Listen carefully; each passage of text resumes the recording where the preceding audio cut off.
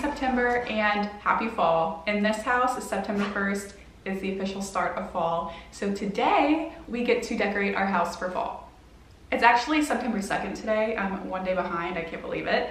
But yeah, it's the start of fall. I, I am a fall girl. Listen, September, October, November, December are my favorite months. The leaves are changing and it really actually feels like fall and it's only September 2nd. So I'm really excited to decorate the house and then go outside and it actually feel like fall. I think the high today is 55. I was able to wear a sweater and jeans and get all cozy with my pumpkin latte. So I've already pulled out everything. You saw that. I need to kind of go through and see where I want stuff to live this year. This is our first fall season living in this house and I definitely don't have enough decor to go around in the entire house. But I told myself I'm not gonna buy new decor this year. I'm just gonna work with what I have. So I just need to take some time first and kind of decide just where I wanna put everything, kind of ballpark, lay some stuff out and get an idea. I am going to light a candle, put on some ambient fall music and scenery on YouTube. I usually just type in like fall thunderstorm or something. So I'm gonna put on one of those, light a candle, and start organizing and decorating. I love fall.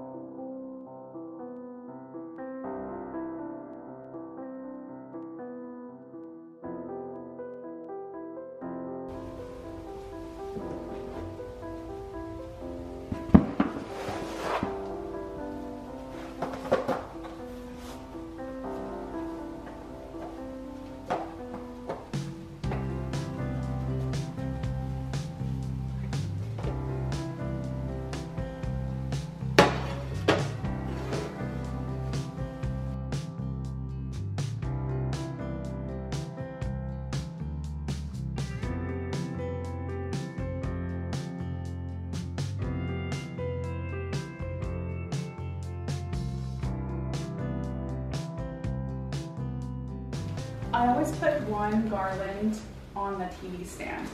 So I know this one will go here. I can figure out how to get it undone. Hmm.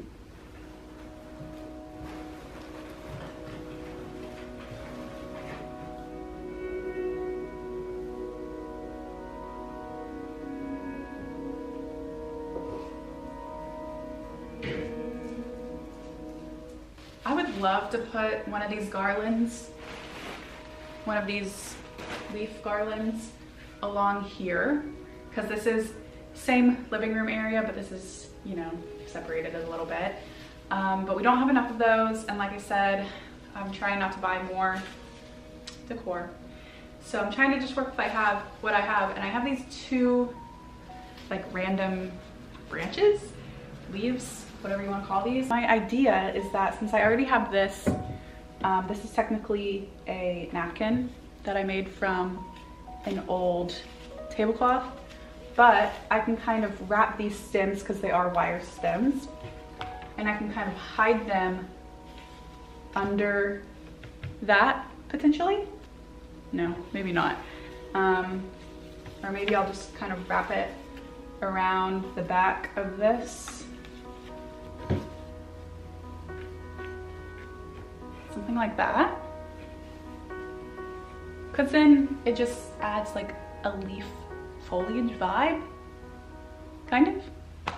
I think the only thing I really have for our bedroom is this one garland, unfortunately, because like on this side of the room is the bed and the nightstands, and I just don't think I really have anything for this room. I think I have this garland positioned where I want it. These books were on here.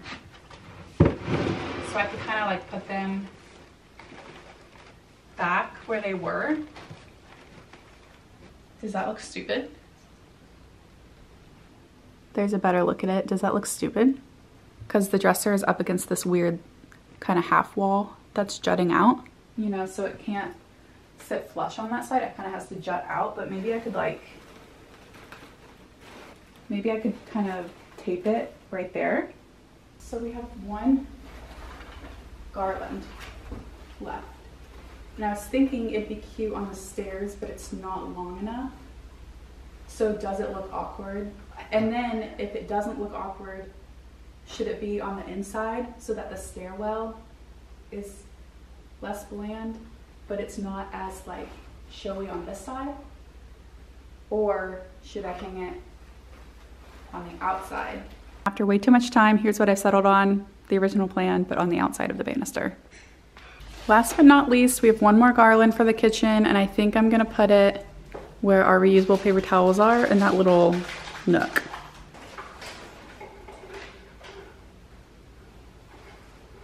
As my other options, I don't know, I put like up here,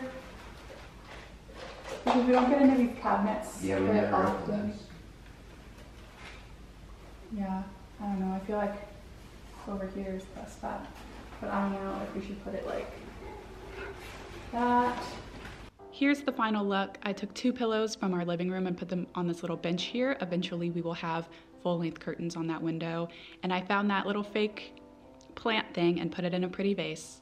Here's the kitchen. I did the garland under those cabinets and the anti-fatigue mat. In the living room, of course, you saw that I put the garland in front of the TV, and I'm really happy with how the little decorations on the coffee table turned out. I think it's really cute. Here's another view of the living room area. I found some fall pillows, so I put those on the couch and I put one of our felted pumpkins up on those shelves there. I kept the leaves on this trunk. It might look a little awkward on camera, but in person, I do think it pulls the room together in a certain way. There's the garland on the banister, and here's another look at our living room. We kept the bedroom simple. I just have the one garland on the dresser and one felt pumpkin on the chair there. And then I put one garland on my desk for work. Oh my gosh, look at the blackout film and the AC unit. I cannot wait until it's dark enough and cool enough that we don't need these things at night so our room can look pretty again. But for now, we have the blackout film and the AC unit.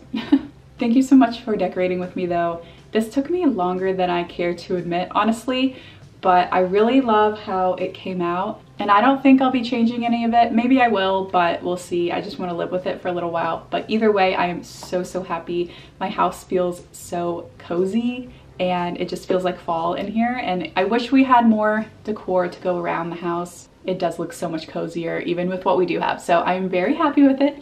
Thank you so much for watching. If you like this video, give it a thumbs up and make sure you are subscribed below and I'll see you in the next one. Bye!